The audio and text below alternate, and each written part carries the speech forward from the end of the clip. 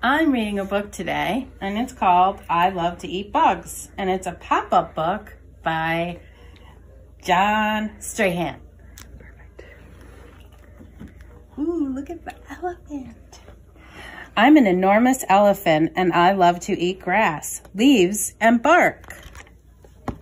Well, I'm a wide-mouthed frog, and I love to eat bugs. Yum, yum, yum. I'm a hairy gorilla. Look at the gorilla. Isn't he cute? He has teeth.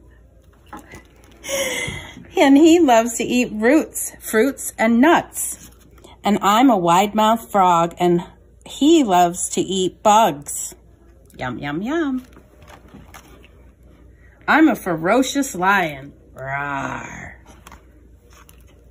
And I love to eat anything that runs on four legs. So, I'm a wide-mouthed frog, and I love to eat bugs. I'm a laughing hyena. and I love to eat all the leftovers from the lion's meal.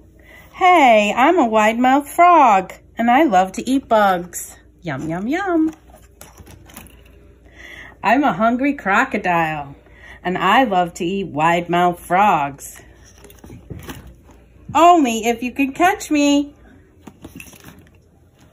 The end.